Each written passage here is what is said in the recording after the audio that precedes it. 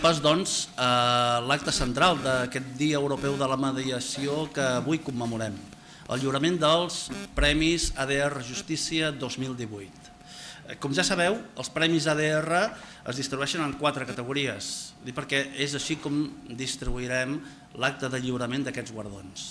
El Premi a la millor tesi doctoral en matèria de mediació i altres eh, sistemes alternatius de resolució de conflictes, el Premi al millor treball de recerca en mediació i altres ADRs, el Premi a la millor iniciativa pràctica duta a terme per administracions locals de Catalunya i finalment el Premi a la millor iniciativa pràctica duta a terme per altres administracions de, públiques de Catalunya o bé per professionals o entitats públiques o privades de Catalunya. Per tant, amb aquesta estructura donarem pas al primer dels guardons que ens disposem a lliurar. Comencem, doncs, pel premi, tal com hem comentat, a la tesi doctoral relacionada amb mediació i altres mitjans alternatius de resolució de conflictes. En aquest camp, el jurat ha reconegut l'excel·lència de totes les tesis doctorals rebudes, però ha valorat que una d'elles és la que té un plantejament més original i més innovador, i a més a més pot fer una aportació a criteri del jurat més alta a la societat. En conseqüència, d'acord amb, amb el dictamen del jurat, perdó, el Departament de Justícia atorga el Premi ADR Justícia 2018 a la millor tesi doctoral relacionada amb la mediació i els altres sistemes alternatius de resolució de conflictes a Mònica Albertí i Cortés per la seva tesi doctoral cap a una escola justa, la incorporació de la justícia restaurativa en l'àmbit escolar.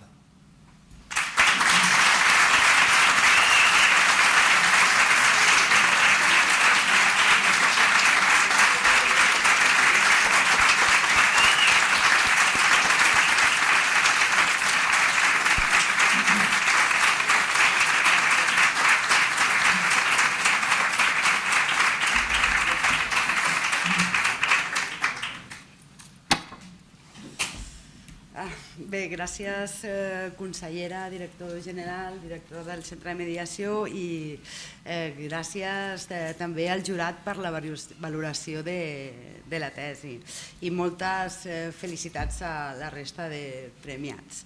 Eh, ja que l'enfocament restauratiu global ens repta a expressar emocions, sentiments i necessitats, doncs començaré compartint amb tots vosaltres una emoció. Estic contenta, estic molt contenta. I estic contenta per eh, diferents motius. Eh? En concret jo en citaré tres, segurament en, podrien, en podríem citar molts més. No? Però el primer és pel que significa el Premi pel reconeixement a la pròpia recerca. Eh, jo que sóc eh, tota passió restaurativa, eh, manegar-me amb eh, dimensions, variables, indicadors, no hagués estat possible sense la guia, la col·laboració i el suport de la meva directora de tesis, la doctora Maria Carme Boquer i Torramorell. O sigui que, Maria Carme, moltes gràcies pel teu suport i per ser avui aquí acompanyant-nos. Gràcies.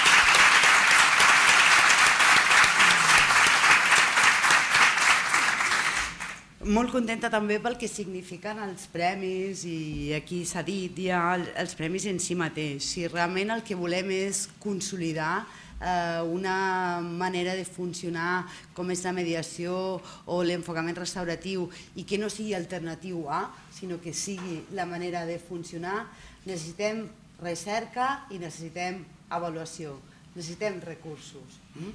Per tant, contenta això i contenta per el que heu dit que l'any que ve ja es tornaran a convocar. Cert és, eh? cert és que necessitem més de recursos. Jo especialment sensible als programes de mediació que ja estan atenent a la ciutadania, a les condicions d'aquests programes i dels seus tècnics i tècniques que han estat una influència i companys i companyes amb els quals hem compartit eh, molt, eh, molt.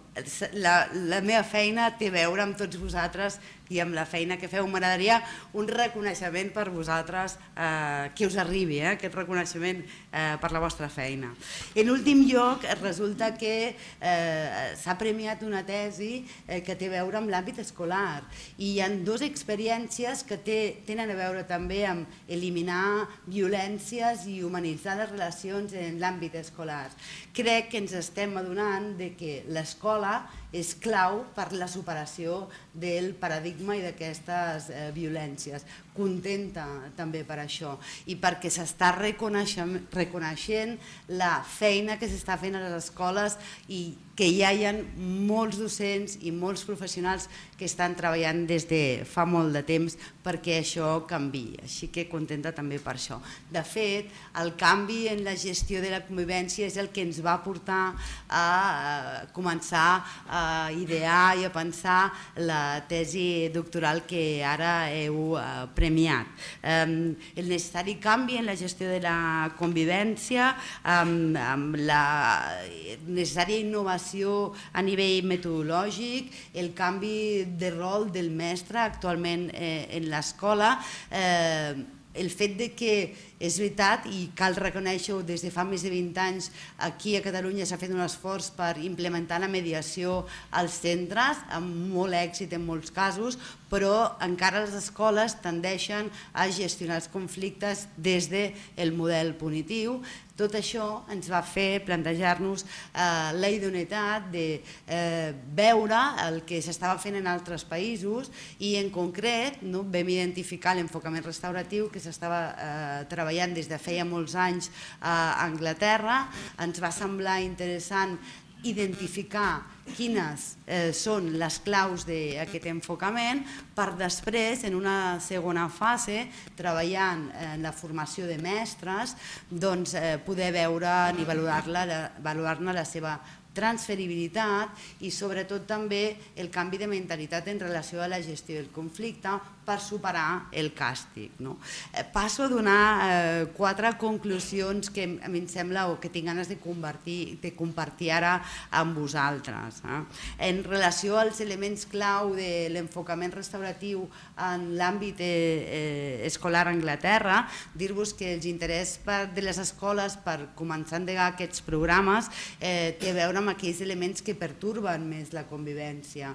Òbviament, disminuir bullying, disminuir eh, expulsions i absentisme, però també identifiquen com a més exitós l'enfocament global. L'enfocament global és aquell que no només dona resposta als conflictes, sinó que el que cerca és crear climes amables, espais feliços, on tothom pugui anar a l'escola feliç pel matí i sortir feliç també a l'escola. I per això se n'adonen que calen noves metodologies, metodologies per crear grup, per promoure el coneixement dels alumnes, dels uns i dels altres, treballar per eh, l'adquisició de competències, també competències eh, relacionals, comunicació no violenta, escolta activa, empatia, però però no només amb els alumnes. Primer, capacitar-nos nosaltres, els adults, capacitar els mestres per després eh, eh, incorporar-ho també en el currículum i treballar-ho amb, amb els alumnes. No? Generar entorns amables i lliures de violència. No? Aquest és una miqueta el que busca l'enfocament global.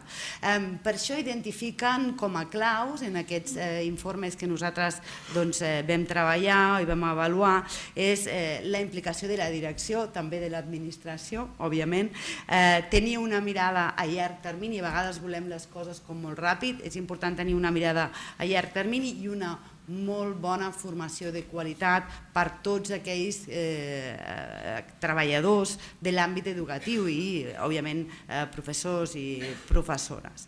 Um, de la transferència a Catalunya, dic que nosaltres el que vam fer és formar 35 docents, vam fer un pretest i un posttest per veure, abans de la formació, quin era no, el, el seu punt de vista en relació a la gestió dels conflictes.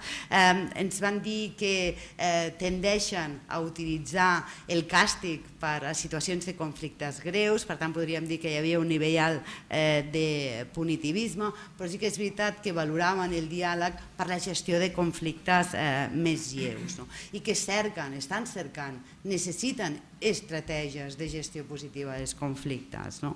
Després de la formació el que, diuen, el que ens diuen aquests mestres és que les pràctiques que vam treballar en la formació les han transferit majoritàriament a l'aula, les han transferit per crear grup, és a dir, per fer una feina proactiva, per poder eh, aconseguir aquests climes eh, que dèiem i també en la gestió dels conflictes, com per exemple les preguntes restaura restauratives. No?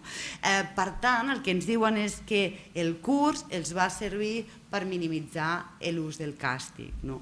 que els sembla que és una via interessant per implementar els centres i que ells i elles voldrien seguir-se formant en eh, pràctiques restauratives i en enfocament restauratiu global. No? Com estem avui a Catalunya en relació a tot això? No? Eh, la resolució d'ensenyament 585 obliga els centres a tenir un projecte de convivència al 2020 nosaltres aquesta obligatorietat estem mirant de convertir-la en una oportunitat de canvi real. Eh, estem fent experiències. Fa un any es va eh, crear un institut que ja per definició en el seu PEC s'anomena com a restauratiu. Gràcies Montse per fer-ho possible.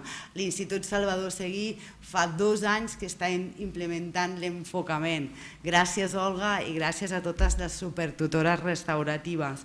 Nosaltres col·laborem amb eh, el SAIP de Blanquerna, amb l'ICE de la UB i estem també col·laborant amb el Consorci d'Educació formant professors i centres. Podríem dir que comença a haver-hi un moviment restauratiu a Catalunya? Jo diria que sí, que continua amb la gran feina feta amb el tema de la mediació? Jo diria que sí. Gràcies a tots i totes els que ho esteu fent possible. Gràcies.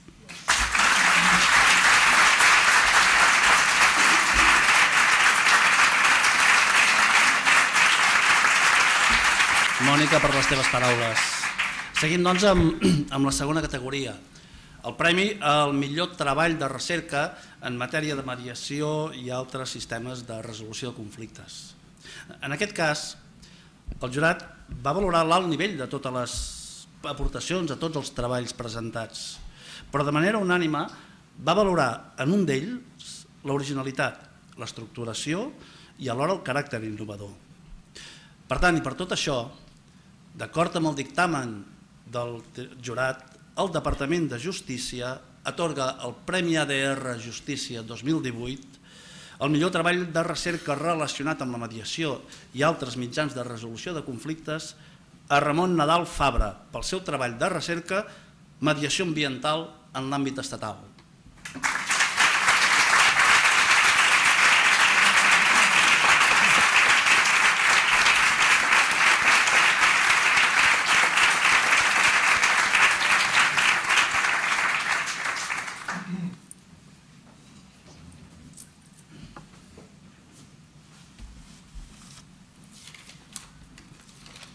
Bé, eh, bona tarda a tothom. Eh, en primer lloc, moltes gràcies pel, pel premi. Per mi, al final, significa pues, el reconeixement i l'esforç d'aquests anys d'estudi i també significa el reconeixement d'aquelles persones que, que m'han ajudat a conèixer la mediació. De forma molt breu, comentar que, que el treball és fruit d'una sinergia, d'una sinergia amb la, amb la formació que tinc amb, amb dret ambiental i del procés de formació que, que he pogut gaudir a, a la Universitat Rovira i Virgili. Eh, L'objectiu no era altre que, que aproximar la, la mediació com, a, com una eina, com un sistema de, de resolució de conflictes en una matèria tan, tan rellevant com, com pot ser actualment el medi ambient. Eh, coneguem des d'un principi que, que no existia i que en l'actualitat tampoc no existeix a la nostra legislació una, una regulació expressa, eh, i específica sobre la intervenció de la mediació en, en l'àmbit ambiental i sobretot en, en dret ambiental. Eh, la idea del treball era replantejar o plantejar eh, com, com s'enfocaria aquesta mediació en, en aquesta matèria, incidir en tots aquells aspectes bàsics i, necessaris que consideraria fonamentals per a, perquè la mediació tingués cabuda en, en matèria mental. I bàsicament eh, una de les parts principals és la, la que es pretén analitzar jurídicament eh, quin seria l'encaix de la mediació al nostre sistema normatiu, tant en l'àmbit administratiu com també jurídic ambiental, intentant interpretar quina seria de totes la, la via més idònia de, de la mediació per, per tal que fos possible. Finalment, eh, bueno, la tercera part del, del treball és una part més pràctica, en la qual s'analitza pues, eh, quina seria la intervenció de, del dret ambiental i la mediació ambiental al nostre sistema i em vaig, bueno, sí, bàsicament em vaig eh, intentar plantejar aproximar el meu estudi a, a casos reals on, on no solament hi ha conflictivitat ambiental sinó també hi ha conflictivitat social i ja afectem a l'esfera pública i sobretot els interessos generals de tothom amb, amb el medi ambient. Jo sóc de Terres de l'Ebre, per tant eh, puc presenciar eh, i he pogut presenciar l'escalada de conflicte amb el projecte Castor, eh, tant amb la tramitació, amb la seva execució i amb la instal·lació del projecte dins del mar, i va ser la meva idea de cas pràctic, és a dir, plantejar com hagués pogut ser eh, una mediació amb la tramitació d'aquest projecte, ja que en el moment de la reacció pues, eh, la magnitud i, i, i, el, el projecte encara estava en una, una fase una mica prematura. Eh, la, meva, la meva conclusió final sobre la part pràctica va ser que, que bé, la, la mediació podia atribuir un paper rellevant a la ciutadania, se li podia donar veu, quan possiblement amb, aquest projecte i amb molts projectes de, de caire mental no se'ls ha donat, i es podia defensar tant interessos generals com la defensa al medi ambient. I la meva consideració final va ser que haguéssim pogut evitar eh, molts dels problemes esdevinguts amb l'actualitat amb aquest projecte no solament d'execució sinó també de, de repercussions. Eh, bé, per acabar, eh, voldria agrair pues, totes aquelles persones que m'han format i m'han ajudat a, a conèixer la, forma, la, la mediació. No hi ha com un sistema de resolució de conflictes i com una feina, sinó com una eina que, que m'ha servit molt a nivell personal, com a persona. Eh, m'ha fet millorar valors socials i entenc que jo cadascun tenim els mateixos valors, uns menys desenvolupats o menys aplicats a la pràctica o no, i m'han après sobretot a, a aprendre a saber escoltar, a saber empatitzar, a saber conviure en una societat que també s'ha dit, on, on cada dia falta més valors de, en la mediació. També voldria agrair a, als meus pares la seva plena dedicació i l'esforç i, i bé, i sense ells avui no, no seria aquí a veure-vos.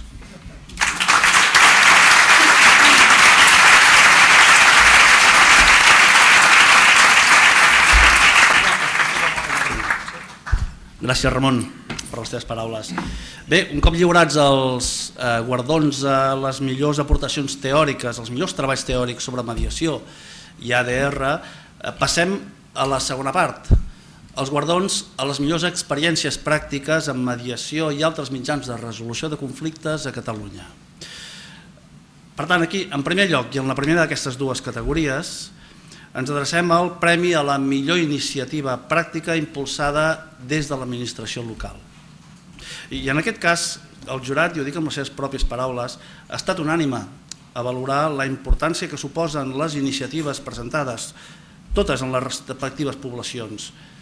A més a més, valora tres trets diferencials, l'impacte social, l'aplicabilitat i l'exportabilitat a altres indrets, així com els valors de conciliació i reparació que que duen inherents, però ha destacat una de les iniciatives per damunt de les altres. I per un motiu, perquè a més la duen a terme alumnes, perquè s'està aplicant i perquè està creant cultura de mediació. Per tot això, i d'acord amb el dictamen del jurat, el Departament de Justícia atorga el Premi ADR Justícia 2018 la millor aportació en mediació eh, i altres mitjans de resolució de conflictes a l'Ajuntament de Girona i la Policia Municipal de Girona pel seu projecte Facilitadors 3.0. Recull el premi Irene Alcaide, sotgispentora de la Policia Municipal de Girona.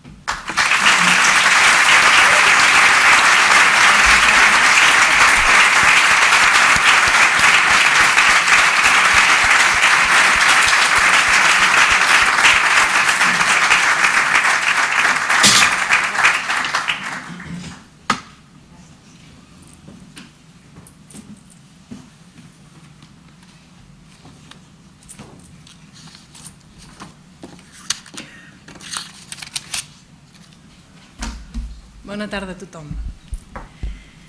Abans de res, jo també estic, com la Mònica, molt contenta, però perquè, a més a més, això significa que la visió que té la societat de la policia està canviant.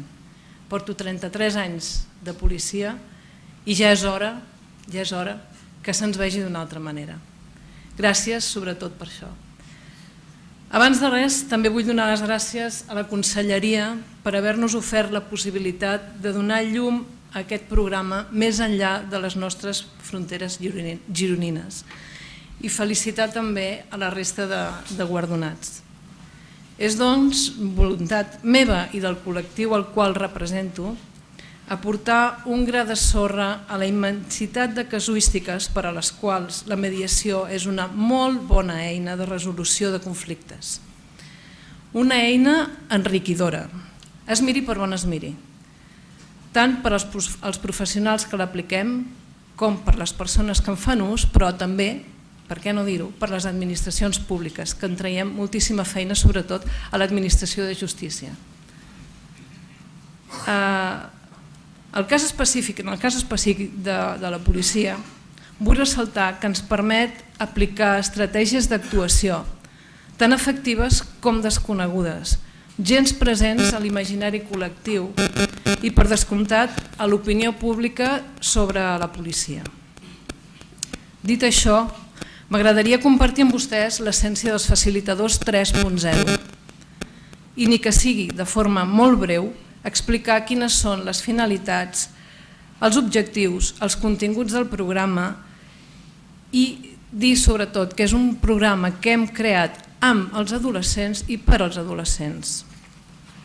Què és els facilitadors 3.0? Doncs nosaltres també hem fet una petita mirada que hi ha fora de les nostres fronteres, no de Girona, sinó de Catalunya i més enllà. I amb la mirada posada a l'esperit del programa finès Kiva contra l'assetjament escolar, vàrem pensar que incorporar les tècniques de mediació per a la detecció precoç dels casos de ciberassetjament afavoriria la prevenció. Però de què estem parlant exactament? Les iniciatives anteriors, el que posaven el focus d'atenció, abans ho parlàvem amb la Mònica, posaven el, el focus d'atenció en l'assetjador o assetjadora. Ara es, es tracta de canviar aquest punt de vista i posar l'òptica sobre el grup, sobre els efectes que causa la permissibilitat d'aquest testimoni mut. Aquesta òptica ens fa donar que normalitzar una conducta quan aquesta conducta és lesiva és molt perillós. Això fa que eh, es legitimi la conducta i per tant es vegi com quelcom lúdic. I amb la, amb la mateixa mesura que es normalitza, s'agreuja els efectes cap a les víctimes. Aquest és el principal element i el que més ens preocupa. Per això vàrem posar fil a l'agulla i vàrem començar a analitzar els ets i uts de l'assetjament escolar, sobretot centrats en, la, en les aules d'ESO i de batxillerat. La primera pregunta que ens va sorgir va ser que per què ens arriben els problemes quan ja realment és molt tard i fins i tot de vegades massa tard. La resposta és tan simple com complexa hi ha una barrera comunicativa entre els adolescents i les persones adultes. Aquí doncs, tenim un dels primers objectius del programa, trencar les barreres comunicatives instaurades per la diferència generacional, però també per l'ús de les TICs, que molts de nosaltres ens han agafat amb el peu canviat. Parlar d'assetjament a l'escola tal com l'enteníem fa 10 anys és un llenguatge totalment obsolet. Avui dia l'assetjament escolar surt dels murs de les escoles, trenca amb els horaris lectius i s'instaura a casa nostra a qualsevol hora del dia i a qualsevol hora de la nit. Ens persegueix. Per tant, hem d'adaptar la prevenció al ciberassetjament amb les dificultats que a tots nivells això comporta. Si tenim la capacitat de trencar aquesta barrera comunicativa, haurem aconseguit fer la detecció des de dins, que és des d'on on realment ens interessa, perquè això ens portarà a la fase embrionària del problema, que és quan té bona solució. Llavors haurem salvat el primer obstacle. Quin és el paper aquí de la mediació? D'entrada, la mediació és un mètode pacífic de resoldre els conflictes. Amb la mediació ningú guanya però tampoc ningú no perd, sinó que les persones s'esforcen per trobar la millor resposta als problemes. Fomenta el diàleg i reconeix el protagonisme a les parts, que s'impliquen en la recerca no tan sols d'una solució útil, sinó també d'una solució duradora, que és el que més ens interessa. Com es desenvolupa el programa?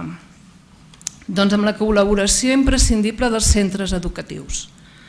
Al centre se li explica com el, o sigui què pretén el programa, s'hi explica absolutament tot el funcionament i això ho traslladen a les aules.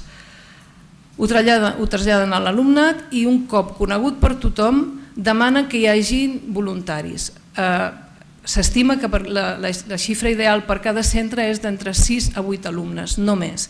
Aquests alumnes voluntaris no es trien perquè tinguin un excel·lent currículum acadèmic, sinó que es trien perquè destaquin en capacitats comunicatives, de relació interpersonal, lideratge positiu, escolta activa, grans dosis de responsabilitat i, sobretot, compromís amb la confidencialitat. No cal dir que no s'accepta cap alumne que no tingui el permís de la mare o del pare. El centre, a més a més, aporta algú del professorat perquè aquesta persona faci de coordinadora entre els grups de facilitadors. La comesa dels alumnes és la detecció dels casos d'assetjament en fase embrionària i la posada en valor, sobretot, de la necessitat de neutralitzar la tolerància. En cap cas es persegueix trobar culpables, no volem culpables, volem cercar solucions. Una vegada el centre té format l'equip de treball, un equip de la Policia Municipal de Girona format per un agent que és psicòleg i mediador i dos agents que són agents tutors d'escola, s'encarreguen de formar professors i alumnes amb tècniques de resolució alternativa de conflictes i tècniques de mediació. Un cop acabada aquesta formació, els facilitadors, cada grup de facilitadors es presenta a les aules. Expliquen quina és la seva funció i quina és la seva implicació en la lluita contra l'assetjament escolar. L'organització és senzilla. Els alumnes de primer i segon d'ESO no entren dintre del programa de facilitadors, en el sentit que no són facilitadors, però sí que estan tutoritzats. Amb això que vull dir? Que a partir dels de tercer d'ESO, el grup de facilitadors de tercer d'ESO seran els que tutoritzaran els de primer. Perquè així d'aquesta forma hi són però no estan a dintre de l'aula. Després, els de quart d'ESO faran el mateix sobre els de segon i els de primer i segon de batxillerat faran el mateix amb els de tercer i quart. Les TIC, sobretot els whatsapps i, i el correu electrònic, són el canal de comunicació, de comunicació que utilitzarem. A través d'aquest canal de, comunica, de comunicació, els testimonis, víctimes o qualsevol persona que conegui un cas d'assetjament pot explicar-lo. Es pot dirigir a l'alumne de referència. Paral·lelament, la policia hem creat també un grup de xat amb cada equip de facilitadors. En aquests, en aquests xats s'expliquen, s'exposen els casos i consensuem quina és la, la gravetat. Si un cas és greu, doncs segurament de forma primer indirecta però si després cal de forma directa, intervindrà la policia. Però sempre nosaltres som l'últim recurs. Eh, si, si el cas és, és lleu, doncs el tractaran els propis alumnes amb el professorat. Al llarg del curs i de forma mensual es mantenen reunions amb els grups de facilitadors per avaluar els casos i, sobretot, per enfortir els coneixements. Ja per últim, eh, voldria donar les gràcies a una persona que no hi és avui aquí però que ens ha ajudat moltíssim a impulsar. És el senyor Quim Ruí, que és exdirector de l'Institut Carles Rahola de Girona. Aquest senyor, nosaltres li vam presentar el programa quan encara era un projecte i es va entusiasmar amb nosaltres. Li va agradar moltíssim la idea i ens va oferir absolutament tot l'institut per nosaltres. Va dir que ell estava encantadíssim de fer amb nosaltres la prova pilot i que i ens, es, ens encoratjava moltíssim fins al punt que un cop acabada aquesta prova pilot després es va extrapolar a, la resta d'instituts de la ciutat, però avui dia que està jubilat encara col·labora amb nosaltres. I gràcies a la seva empenta i en creure en nosaltres i en creure en aquesta nova, de fer, nova forma de fer, avui més del 95% dels instituts de Girona tenen equips de facilitadors. Moltes gràcies i aquí teniu el nostre treball.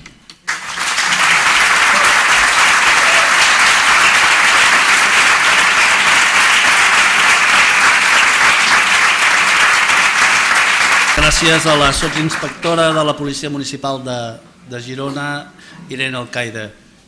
I finalment arribem a l'últim d'aquests guardons dels Premis ADR Justícia 2018. El Premi a la millor iniciativa pràctica impulsada bé des d'institucions públiques diferents de l'administració local o bé des de professionals o empreses privades amb seu social o delegació a Catalunya. En aquesta categoria el jurat ha constatat també la innovació, l'originalitat i sobretot l'abast i l'aplicabilitat pràctica de les iniciatives presentades. Però n'hi ha una que destaca per damunt de les altres.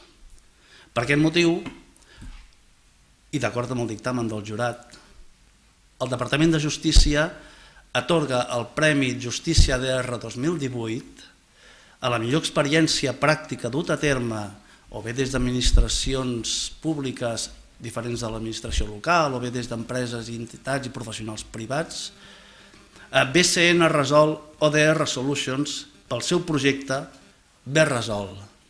Recullen el premi les sòcies i socis de BCN Resol ODR Solutions, Marta Mende, Natàlia Flores, Meritxell Bosch, Josep Fígols, Mireia Riera, i Maria Teixidor.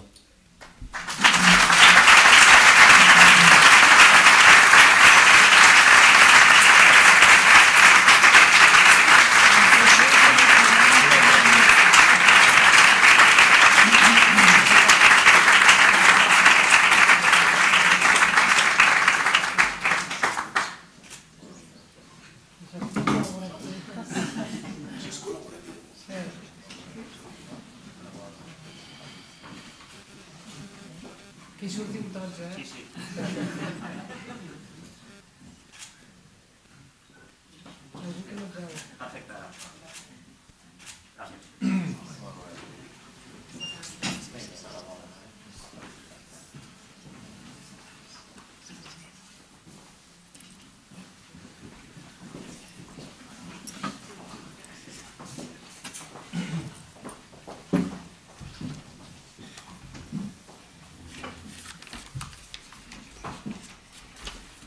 Bueno, consellera, director, directora, membres del jurat, senyors i senyores, estem molt contents.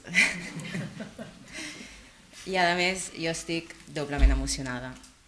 Primer doncs, pel reconeixement que suposa aquest premi a la nostra Berresol, ja que hem treballat i seguim treballant molt i a més amb molta convicció. Però a més a més perquè aquest reconeixement ve del Departament de Justícia, on jo vaig estar treballant molts anys, al Centre de Mediació de Dret Privat de Catalunya, i que precisament vaig marxar del centre doncs, per dedicar-me a dos grans projectes, que un és GiraDR, la nostra consultoria sobre resolució alternativa de conflictes, especialment en l'àmbit d'empreses i organitzacions, i també eh, BCN Resolo de Resolutions. Vull aprofitar, ja que estic aquí, per també donar les gràcies al director general de Dret i Entitats Jurídiques, a les directores que vaig tenir en el centre de mediació, la Rosa Torre, l'Anna Llança, que l'he vist per aquí, l'Anna Vall, i fer una menció a la Tere de Gispert, ja que van confiar en mi i sobretot en, en l'àmbit professional. I també els meus companys, dels que vaig aprendre molt, de tots ells i els vaig dir a tots, espero no oblidar-me cap. La Isabel, la Nequi, la Olga, la Lídia, la Betty, el Josep, la Núria, la Dolors, l'Àncel, Joan, la Manuela i la Pilar. Dit això, que volia fer-ho, eh, bueno, bé resol, que aquí és la premiada, és de fet la primera solució de la nostra empresa i startup, que és BCN Resolo de Resolutions. És una solució de base tecnològica, però que posa per sobre de tot el que es puguin solucionar els conflictes a través de les ADR. És molt innovadora i a més de gran impacte social. I sobretot el que volem és ajudar els adolescents eh, i els centres educatius, centres esportius i com deia la Mònica, doncs els adolescents estan més enllà també dels centres educatius i centres esportius. Per tant, de tot aquell centre on els adolescents doncs, realitzen activitats fora de l'escola. La idea va sorgir a l'any 2013, quan una família eh, va anar al despatx de la Maria, eh, doncs perquè l'assessoréssim, perquè s'havia mort el seu fill, bueno, s'havia suïcidat, parlant correctament, per un, per un tema d'assetjament eh, la Maria va quedar molt impactada i no, no, va decidir no quedar-se amb els braços creuats. Així que em va contactar, em va explicar la idea i doncs em vaig apuntar amb, amb molt entusiasme. I de la mateixa manera també ho van fer la Natàlia i la Meritxell. Ja érem quatre, però teníem clar que volíem que tingués una base tecnològica, aquest, la solució que volíem fer. Per tant, vam acudir experts en, en, aquest, en, sí, en el que és la tecnologia i eh, ens van ajudar en diferents fases en Jaume, en Josep i el, i ara no dic, i el Jordi. El Josep és el nostre cinquè soci cofundador, l'actual CEO i la nostra quota masculina. Però no vam acabar aquí i estem molt contents perquè el setembre passat, el 2018, la UOC, a través del seu braç inversor Invergi, va decidir apostar pel projecte i va entrar en el nostre accionariat. Berresol és una, és una solució que permet no només detectar situacions d'assetjament i ciberassetjament, que també, evidentment, sinó que el que volem és ajudar a tots els adolescents en, tot que, en totes les problemàtiques que ells puguin viure. A la pràctica ens estem trobant doncs, que s'estan detectant casos gràcies a la nostra solució, ja sigui a través de, de trastorns de conducta alimentària, drogodependències, assetjament sexual i problemes de caire social i relacional. La nostra app és molt més que una. És, de fet, un canal de comunicació molt innovador que per defecte és anònim, i del que ja gaudeixen actualment més de 50 centres de Catalunya i Andorra. Amb bé resolt, des de l'app, poden fer un clic i explicar aquella situació que els hi preocupa amb ells i que també, com deien les meves predecessores en, en, en els premis, eh, alertar de situacions que estan patint companys. De fet, la majoria de clics que obtenen les escoles és a través de del que nosaltres diem els observadors. Un cop eh, fan el clic, eh, l'alumne, eh, quan, quan fa el clic, escull a quina persona del centre escolar li vol explicar, perquè és molt important també el tema de la confiança. Durant l'any 2018 eh, hem tingut més de 2.000 clics, 2.000 clics que han pogut ser gestionats pels centres, la majoria de, dels procediments de gestió d'aquests conflictes és a través de procediments d'ADR i, a més, amb l'avantatge que queda tot perfectament documentat d'acord amb la normativa. D'acord? Volem aprofitar per anunciar-vos que, donat l'èxit de Berresol, a la nostra convicció de l'aplicació de, de les ADRs amb una base tecnològica i sumant l'experiència que tenim de les ADRs en les empreses i del món empresarial, acabem de llançar Corresol. Corresol és un nou canal de comunicació, és un canal ètic o de denúncies, un alertador, perquè els treballadors puguin fer un clic per posar en coneixement qualsevol tipus de situació, ja sigui de moving, d'assetjament, qualsevol situació que estiguin patint ells o uns altres companys, o també inclús per eh, fer suggerències o propostes a la teva empresa. Aquests clics per defecte també són anònims. L'empresa, un cop rep el clic, evidentment el gestiona, en la majoria de casos també a través de les ADR, i quedarà tot també tot perfectament documentat, complint també tota la normativa. Com veieu, eh, les quatre sòcies dones som advocades i mediadores. Som unes convençudes, i qui ens coneixeu sabeu, dels, de les ADR, de la mediació. Creiem que és una bona iniciativa i a sobre ens heu, ens heu donat el premi, però a més també encoratgem a que a nivell privat doncs, es pot. Per tant que jo, com a Marta, encoratjo a que tothom eh, treballi en aquesta direcció perquè hi ha molta feina i a més, eh, com dèiem abans amb el director, en aquest sector no hi ha, no, no hi ha crisi, tothom té conflictes.